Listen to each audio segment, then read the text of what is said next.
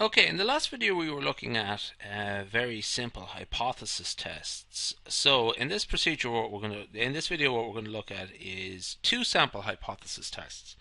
Now just the key thing here is that, well, actually, this is the last video. Sometimes it might be 0.025%. It depends on the situation. Uh, but essentially, what we're interested in here is if the p-value is less than 0.05, or actually, it could also be 0.025, which is half that value, we reject the null hypothesis. There is enough evidence to say that the null hypothesis is wrong.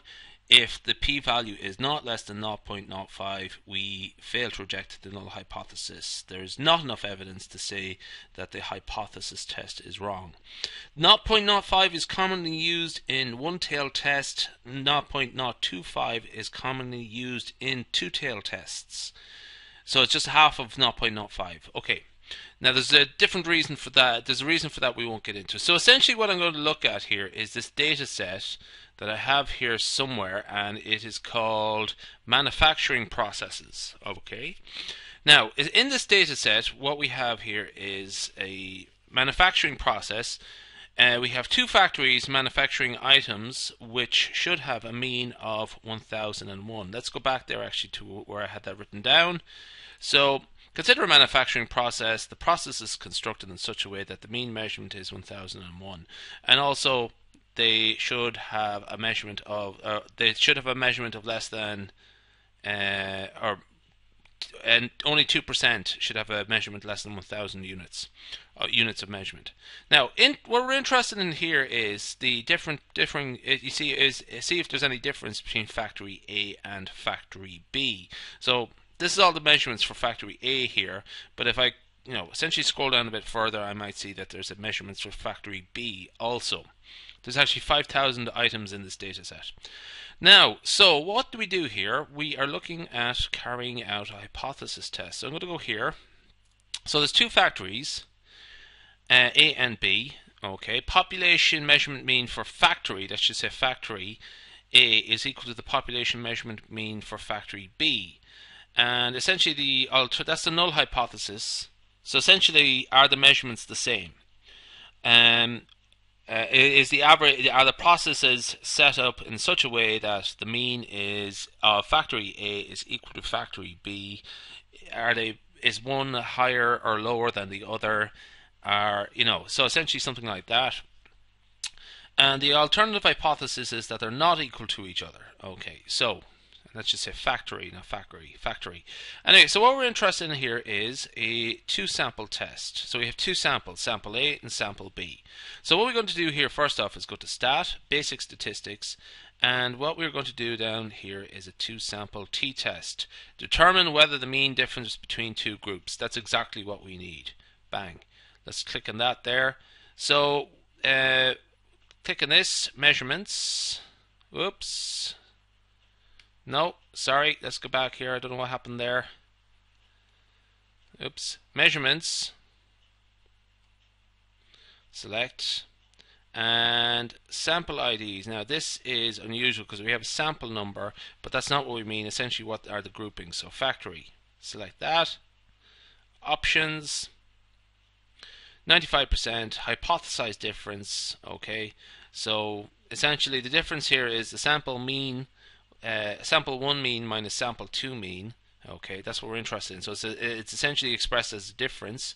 So if two things are equal, the hypothesized difference between them is 0. Okay.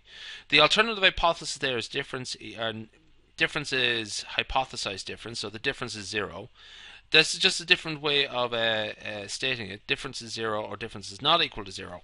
Now, it's essentially equal or not equal. Difference is zero. Difference is not equal to zero. It's, it's actually the slightly different way of saying the exact same thing. The assume equal variance is something we'll come back to later on. We're going to assume equal variance in this case. Just well, it's not absolutely necessary, but yes, we'll assume equal variance. Okay. Now, graphs, what we might do is here, click in some graphs, have a look at a box plot. Okay. I think that's good to go. Click OK. There we go. So we should have a box plot coming up in a second now. And those are a box plot of factory A versus factory B. Um, it seems that the relative the populations are slightly equal to, or you know, it is the, the both box plots from factory A and factory B seem pretty similar, but there's a slight again the slight suspicion that factory B is slightly higher in the number line, which to say it's like slightly larger value. So let's go back up here to the session pane and click on that. Just go back up here a second now. So two sample t-test and confidence interval measurement by factory. Okay, so factory was the grouping structure, the sample ID as it was called. We have the mean and uh, for A and mean for B. Okay, and so it's uh, 1002.6 versus 1002.72. We have the mean and standard deviation, which seems to be quite good. Now, I'm just going to sort of spread this out a bit here. So the difference is mu, the factory A minus mu factory B, okay?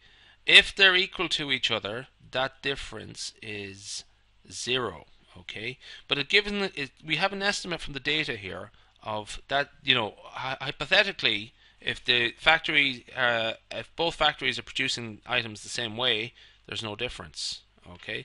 But we actually see a slight difference between the two factories and it is minus 0.1248. That means that factory B is slightly higher.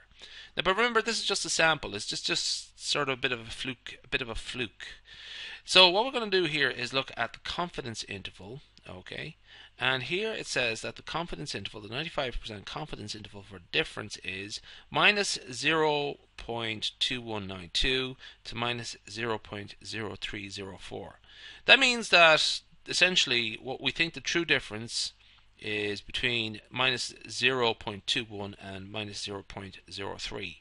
Uh, you might notice that 0 is not in that range of values. So this is a range of values, okay, a range of values. That's the upper and lower limit. So we're considering uh, any value between those two numbers. Um, you notice that 0 is actually one of the values between those two numbers, is a number in that in, in that interval. Okay, that's important. So what we're going to do here is now look at the p-value, and the p-value here is uh, minus 0, sorry, 0 0.010. Now, that is significant, okay? It's less than our threshold of 5% or 2% even, okay? So let's go back up here. Let, uh, correctly, we're doing a two-tailed test, so that what we're interested in here is about 0.025, so just put in a little 2 there, but it doesn't really matter actually. So if the p-value is less than 0.05 or 0.025, we reject the null hypothesis. There is not enough evidence to say that the hypothesis is. Uh, there's enough evidence to say that the null hypothesis is, is wrong. So that's what we are saying here. The null hypothesis is wrong. That there is the null hypothesis says they're the same. That null hypothesis is wrong. That means that there is a difference between the two. Okay and that means that factory B, essentially they're not equal to each other. Now we can sort of assume that factory B is slightly higher, okay, uh, than factory A. Is it important? You have to just judge how much that is, uh, how much of a different uh, important that difference is, just by sort of not using statistics, just how much the cost is. What we can do here is actually just sort of rerun the procedure again. So two sample t-test, we're just going to slightly change the um, alternative hypothesis. So difference is less than um, zero. Okay. Run it again. Okay. Now, difference less than zero. Remember, we're working on the basis of A minus B. Okay. So we might get a net. we could have a negative difference here. Okay. And under the null hypothesis, sorry, let's just see what the null hypothesis is. Uh, the null hypothesis they're they're not equal to or they are the difference that the null hypothesis is that the true difference here is zero. Okay. Um the alternative hypothesis is that it's less than zero. Okay. That means that b is higher. Okay. Uh, because we're working on the a minus b. So if b is higher that the difference is going to be less than zero as a negative number Um, we reject the null hypothesis. We get a slightly different p-value here. Okay. And again, because this is a one-tailed test, we, we, we work on compare this to 0.05. Okay, not point. So the p-value is 0.005. With a one-tailed test, we're comparing it to um, 0.05. Remember, there's just uh, there's a zero after the decimal place here. Okay, there is two zeros after the decimal place there. That is, means that they are different numbers. Just watch out for that. Loads of people make that mistake. And that means that we reject the null hypothesis again, that they're not equal to each other. In fact, B is slightly higher. Okay? Right.